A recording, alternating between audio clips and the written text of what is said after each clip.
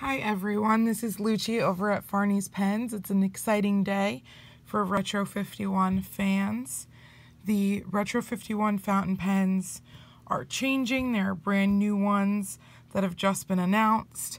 And the biggest change is the front section and the nib. So this is the old Retro fountain pen front section. So the grip section, just kind of flat and it's pretty light. Here's the feed and the nib. Here's the new one.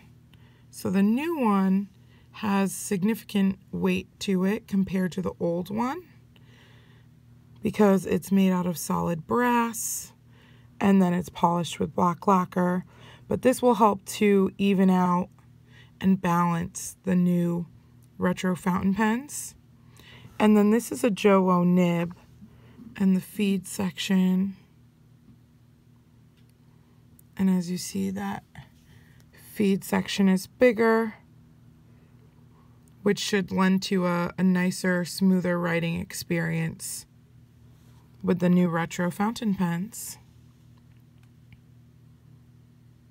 Now they've also said that eventually if you have the older fountain pens, because the barrel is not changing, you could potentially buy a new grip section, which is now contoured, so it's much easier to hold, and a new nib, or just the new grip section, but they're not sure when that will be available just yet.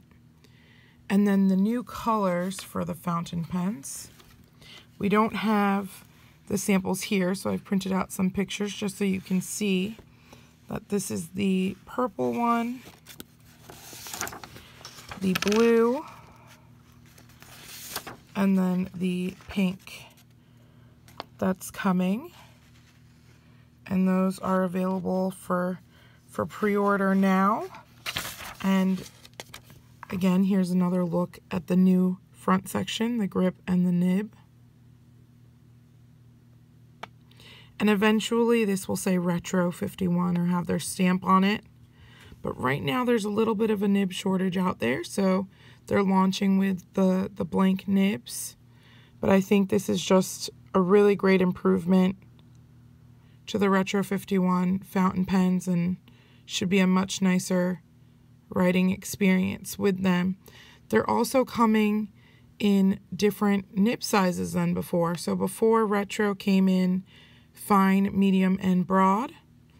They are discontinuing the broad, but they're going to be available in extra fine, fine, medium, and a 1.1 nib. So like an italic style nib, which is a really great thing to see come out in the retro line.